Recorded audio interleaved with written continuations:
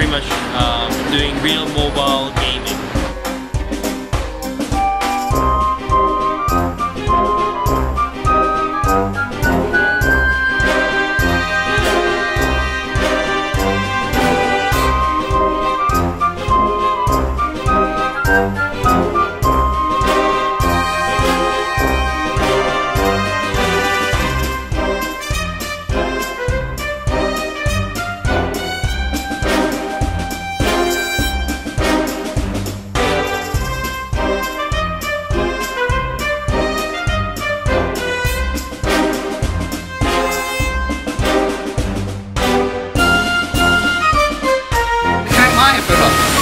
you can't connect your iPhone, oh. you can't connect the Nokia N8 it's got HDMI.